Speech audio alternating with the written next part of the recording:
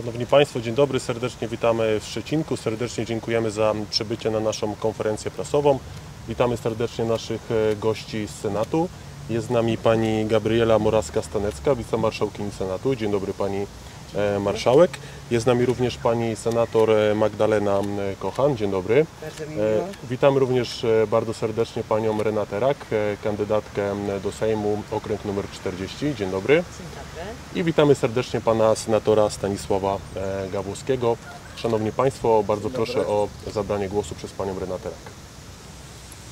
E, Dzień dobry, witam serdecznie w tak zacnym gronie. Cieszę się bardzo, że dzisiaj Siła Kobiet, Pani Marszałek, Pani Senator, no i oczywiście Pan Senator, także wspierający kobiety od zawsze.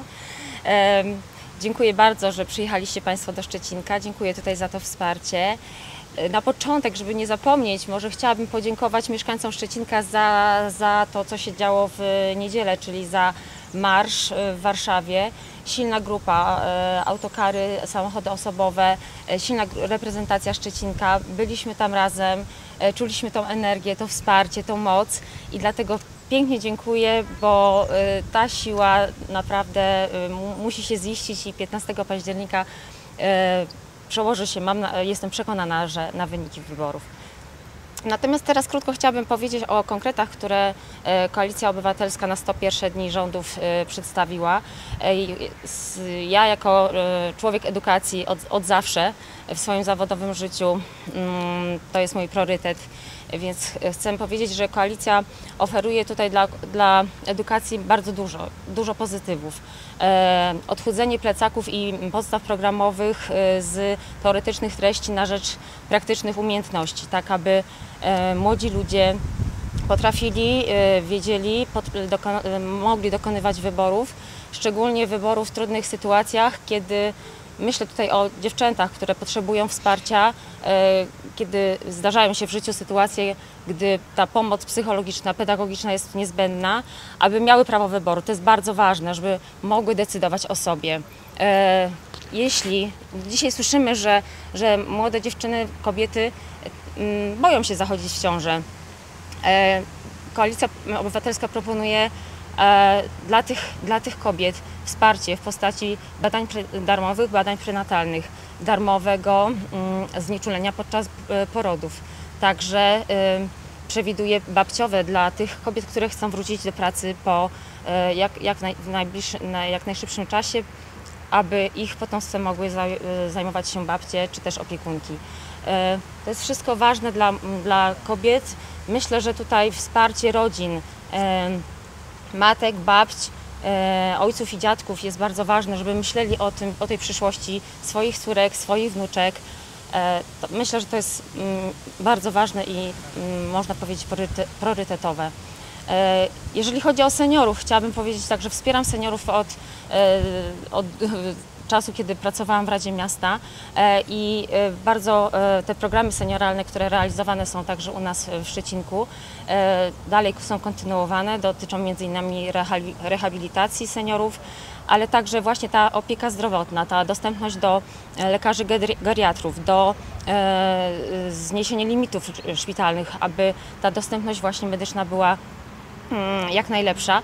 To są także priorytety Koalicji Obywatelskiej. Oczywiście e, e, emerytury mm, bez podatku do 5 tysięcy złotych brutto. E, Także to są te ważne tematy, które, które także ja poruszam i jestem przekonana, że tutaj wspólnie z głównie paniami tą siłę kobiet wybrzmi ta siła kobiet i przełoży się to na wynik wyborów. Dziękuję bardzo. Dziękujemy. Pani Marszałek, bardzo proszę. Szanowni Państwo, siła kobiet, bo ten rząd i ten, te władze mogą obalić jedynie kobiety. Kobiety oczywiście przy wsparciu mężczyzn, ale mówi się, że akurat teraz jest czas kobiet. Dlaczego? Ano dlatego, że ta władza nie znosi kobiet. Ta władza ogranicza prawa kobiet. Trzeba sobie przypomnieć czarne protesty w obronie praw kobiet. Trzeba sobie przypomnieć policjantów, którzy te kobiety pałowali pałami teleskopowymi. Trzeba sobie przypomnieć gaz, który był w oczy pryskany też posłankom, naszym koleżankom. Trzeba sobie również przypomnieć też naszą koleżankę, posłankę, wciąganą do samochodu policyjnego, mimo że naokoło wszyscy krzyczeli, że to jest posłanka. Tak ta władza traktuje kobiety. Ta władza nie liczy się z kobietą, nie liczy się z tym, że jej należy się bezpieczeństwo, tak jak każdemu obywatelowi w tym kraju. Ale jak już pani y, Renata wspomniała, są momenty, kiedy to właśnie kobiecie należy się opieka i wsparcie. Wtedy, kiedy kobieta jest w ciąży, wtedy, kiedy kobieta ma urodzić dziecko i wtedy, kiedy to dziecko jest małe. A jak ta władza traktuje kobiety w ciąży, to przekonaliśmy się, kiedy słyszeliśmy o historiach, wstrząsających historiach, które w żadnym cywilizowanym kraju nie mogą mieć miejsca, że kobieta w ciąży przychodzi do szpitala po pomoc i umiera w tym szpitalu, ponieważ tej pomocy się nie doczekała. Także jeżeli panie będą wahały się, czy iść na wybory i na kogo głosować, to przypomnijcie sobie te wszystkie rzeczy, które doświadczały nasze koleżanki, nasze siostry w ciągu ostatnich ośmiu lat. Ale chciałabym również wspomnieć o Izbie Wyższej naszego parlamentu, o Senacie. Jako wicemarszałkini Senatu przez cztery lata brałam udział w koordynowaniu prac Senatu, w tej naszej demokratycznej większości senackiej. I dzięki temu, że Pakt Senacki, który po raz pierwszy stworzono w 2019 roku, zadziałał, demokratyczna opozycja wygrała Senat. My tę większość utrzymaliśmy przez całe cztery lata. Dzięki temu mamy rzecznika praw obywatelskich, który jest naukowcem, profesorem, a nie jest funkcjonariuszem PiSu. I przypomnę tylko, że to właśnie bohater afery wizowej, pan Wawrzyk, był kandydatem na rzecznika praw obywatelskich. Ten Senat jest bardzo ważny, dlatego ważne jest, żeby dzisiaj zagłosować również na kandydatów Paktu Senackiego.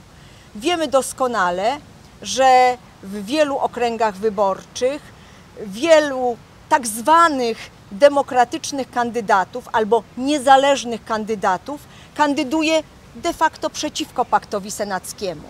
To są pomocnicy PiSu, to są zwolennicy PiSu, bo oni doskonale zdają sobie sprawę z tego, że nie wygrają tych wyborów. Oni są posłani jedynie po to, aby kandydatom paktu senackiego zabierać tak potrzebne głosy, aby zabierać tak potrzebną większość. I w każdym okręgu wyborczym, a senackich okręgów mamy 100, tacy kandydaci się pojawili. Niezależni, bezpartyjni, tak jakby o niezależności świadczył fakt przynależności do jakiejkolwiek partii politycznej. Tutaj, proszę Państwa, mamy wybór bardzo prosty. Jest, stoi się po stronie białej albo czarnej, albo po stronie demokratycznej, albo po stronie autorytarnej, albo po stronie Polski otwartej, europejskiej, albo po stronie Polski, która będzie wpychana w odmęty wschodu i w łapy Putina. Dlatego wybór do Senatu jest prosty. Albo kandydat paktu senackiego, albo nikt inny, albo PiS. I bez względu na kogo, jeżeli nie zagłosują Państwo na kandydata paktu, bez względu na kogo zagłosujecie, to będzie to głos oddany na PiS. I przypominam, że w tym okręgu, w okręgu setnym, kandydatem paktu senackiego jest pan senator Stanisław Gawłowski, którego Państwo doskonale znają. Jest przez wiele lat tutaj aktywnym politykiem i rekomenduję Państwu, żeby nie dać się uwieść kandydatom niezależnym, bezpartyjnym, demokratycznym, bo to wszystko są ludzie PiSu.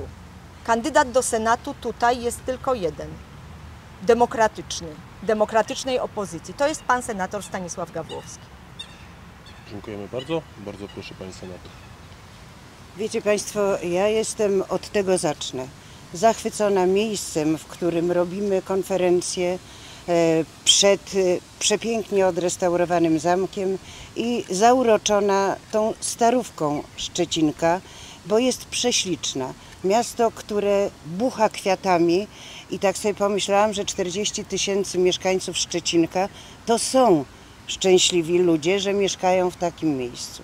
Myślę także o tych, y, którzy przyjechali do Szczecinka w 45, 6 i późniejszych latach y, i zastanawiam się, jak z tych różnych części Polski, ale także z Zabuga, przecież z Ukrainy, Litwy, Łotwy, z Białorusi, postanowili zostać tu. Co ich do tego zmusiło, co ich tu zatrzymało? My jesteśmy, z wyjątkiem pani marszałek, bo ona do nas przyjechała ze Śląska, zachodnio-pomorzaninami.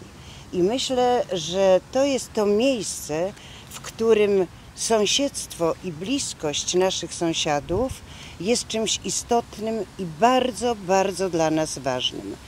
Już nie mówię o gospodarczych stosunkach z sąsiadami e, z zachodu. Myślę o tych relacjach polsko-niemieckich, o spotkanych tutaj dzisiaj, także e, wycieczkach niemieckich, bo mieliśmy okazję z nimi rozmawiać. Nikt tu na nikogo nie wrzeszczy, nikt tu do nikogo nie ma o to pretensji. Oni zwiedzają piękne już dzisiaj polskie miasto, bo zgoda buduje. I jeśli na to popatrzymy z tej perspektywy, to wiemy, że kobietom, najczęściej budującym zgodę w rodzinach i kompromis, na tej zgodzie naprawdę zależy. My wiemy, jak osiągać kompromis wtedy, kiedy kłóci się dwójka dzieci i trzeba między nimi stanąć. Nie ma niczego innego w takim kompromisie, jeśli krzyczą na siebie dwie strony y, z opozycji i dzisiaj rządzących. Prawda, nierówny to głos, bo jedni krzyczą przy pomocy mediów, do których z naszej wspólnej e, kasy, z naszych podatków dokładamy kolosalne pieniądze zamiast pomóc chorym na raka czy dzieciom albo osobom, które chorują na rzadkie choroby. To prawda, że głos opozycyjnej strony jest głosem, jeśli nawet ostrym, to na pewno nie jest prostackim, a bywa zupełnie inaczej z tej drugiej strony. Wiem o wielu atakach e, na mojego przyjaciela, kolegę, z którym od lat pracuję, od którego uczę się środowiska. Jakimi słowami potrafią go opluć ci, którzy na niego plują? Przepraszam Państwa za tego rodzaju sformułowania, ale naprawdę je słyszymy. One są nie tylko niezasłużone, one są krzywdzące. I myślę, że kobiety, które naprawdę rozumieją, że słowem można uderzyć mocniej czasem niż nożem, że zacytuję e, klasyka polskiej piosenki e, Niemena, że od słowa i jego jakości zależy zdrowie, a czasem życie naszych najbliższych. Tu przypomnę panią posłankę Magdalenę Felix i jej tragedię, ale przypomnę także o dramatach rodzin, takich jak pana Brejzy, takich jak pani, pani prokurator Wrzosek i wielu, wielu innych, których y, rodziny zostały w sposób bestialski zaatakowane bronią kupioną i działającą w Polsce nielegalnie Pegasusem. Proszę kobiety, jeśli chcemy zgody w Polsce, a chcemy, jestem o tym przekonana, głosujmy, bo nasz głos wołający o pokój i zgodę będzie mocniej słyszalny choćby przez to, że jest nas 52%, a mężczyzn nieco mniej. I powiem jeszcze jedno: w naszych biało-czerwonych sercach jest miejsce dla każdego, nawet dla tych z Państwa, którzy zbłądzili i głosowali na dzisiaj naprawdę szerzącą złą partię. W ich mniemaniu dla nas w Polsce miejsca nie ma, a przecież serca mamy po lewej i biało-czerwone na pewno. Głosujcie na panią Renatę Rak i głosujcie na pana Stanisława Gawłowskiego i proszę was, idźcie do wyborów. Dziękujemy bardzo. Czas na męski głos podczas naszej konferencji. Pan senator Stanisław Dowes. Dziękuję bardzo. Rzeczywiście jesteśmy w pięknym Szczecinku, Szczecinku, które, który zmienił się przez ostatnie lata bardzo. To jest miasto, do którego ci, którzy przyjeżdżają pierwszy raz, e, zawsze oni mówią z zachwytem, a ci, którzy wracają, to tylko i wyłącznie chętniej wracają. Ale e, jak chcę się w pierwszej kolejności e, dołączyć do tych podziękowań e, e, osób, które uczestniczyły w marszu. Byliśmy, jesteśmy świeżo po wielkim wydarzeniu, po największym w historii Rzeczypospolitej proteście, marszu zorganizowanym e, w Warszawie. Milion osób wzięło w nim udział i e, widziałem wielką grupę mieszkańców e, Szczecinka i powiatu. Wiem, że przyjechali w pełni przekonani, że te wybory, tak jak zresztą wszyscy bez wyjątku politycy ci najważniejsi w Polsce powtarzają, że te wybory mają ogromne znaczenie, że one są najważniejszymi wyborami od 1989 roku, bo one takie są.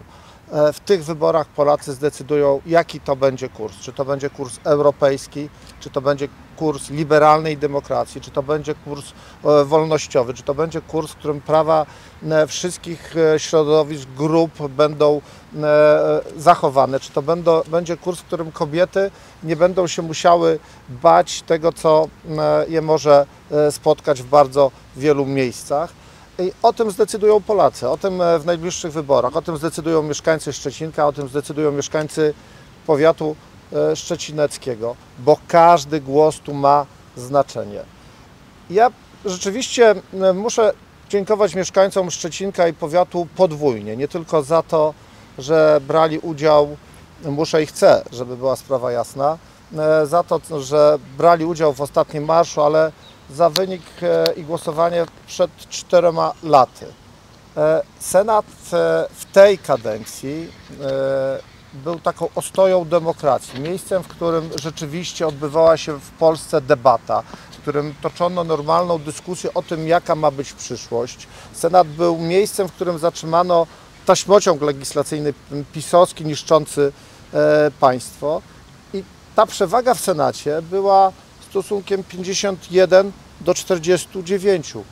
Jednym głosem de facto, jednym mandatem. Ja e, 4 lata temu wygrałem wybory w Szczecinku, w mieście. Wygrałem w ogóle wybory do Senatu 321 głosem. Te 321 głosów de facto zdecydowało o tym, że Senat był demokratyczny, że w Polsce zachowano taką instytucję parlamentarną, jaką jest Senat po stronie tej części demokratycznej. I dzisiaj e, chcę e, jeszcze raz bardzo serdecznie za to podziękować.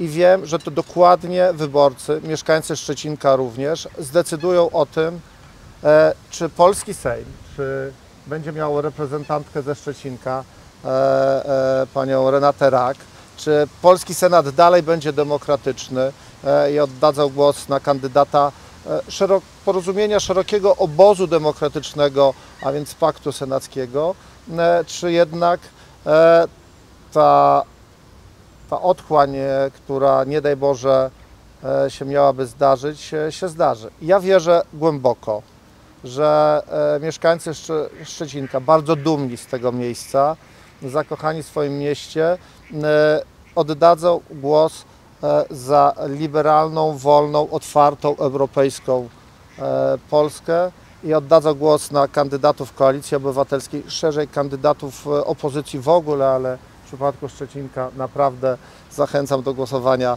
na panią Renatę Rak e, i, e, i oddadzą głos na mnie, na kandydata szerokiego obozu demokratycznego, kandydata e, Paktu Senackiego. Dziękuję bardzo.